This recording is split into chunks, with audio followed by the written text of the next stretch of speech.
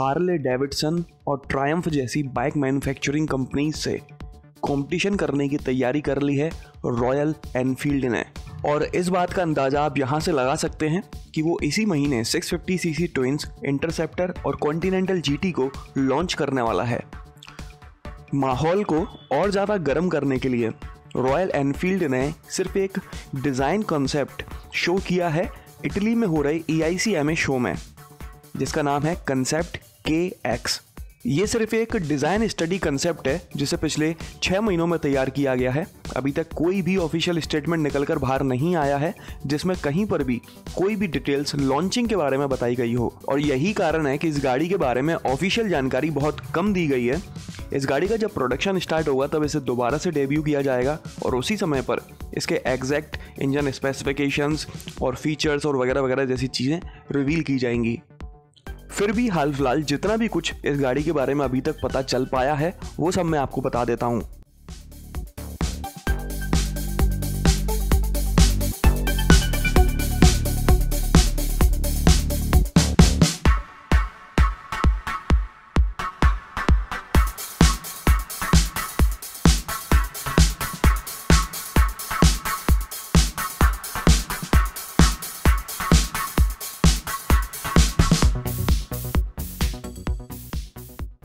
ये गाड़ी completely based होने वाली है 1938 में लॉन्च हुई रॉयल एनफील्ड के एक्स पर। इस गाड़ी में 1140 सीसी का air cooled twin cylinder four stroke engine मिला करता था। हालाँकि इतना बड़ा इंजन आपको इस रॉयल एनफील्ड बॉबर में नहीं मिला करेगा। इस गाड़ी में 838 CC twin cylinder with fuel injection engine मिल सकता है। इस इंजन डिटेल्स के आगे भी टीबीसी लिखा हुआ है मतलब टू बी कन्फर्म्ड इस इंजन में सिक्स स्पीड ट्रांसमिशन मिला करेगा। अभी तक कोई भी फिगर्स ऑफिशियली रिवील नहीं किए गए हैं कि ये कितनी पावर जनरेट किया करेगा और कितना टॉर्क जनरेट करेगा। लेकिन पूरी पूरी उम्मीद है कि ये इंजन करीब 90 पीएस की पावर जनरेट किया करेगा और 100 या फिर 120 एनएम का टॉर्क जनरेट किया करेगा।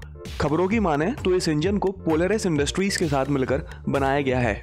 इसके अलावा इस गाड़ी के डायमेंशंस को ऑफिशियली रिवील किया गया है जिसमें length 2160 mm, width 778 mm, height 998 mm, wheel base 1530 mm, ground clearance 128 mm और सीट हाइट 760 mm बताई गई है। इसके अलावा इस गाड़ी के फ्रंट में डबल डिस्क ब्रेक्स और रियर में सिंगल डिस्क ब्रेक मिला करेगा और दोनों ही जगह आपको एंटी लॉक ब्रेकिंग सिस्टम भी मिला करेगा।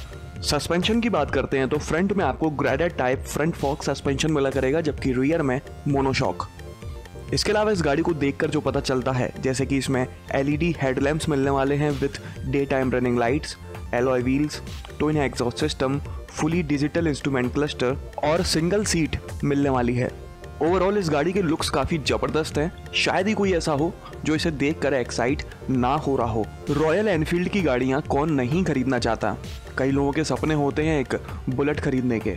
और ऐसे में, आने वाले सालों में इस गाड़ी बॉबर को लॉन्च करना रॉयल एनफील्ड के लिए एक फ़ायदेमंद सौदा साबित हो सकता है।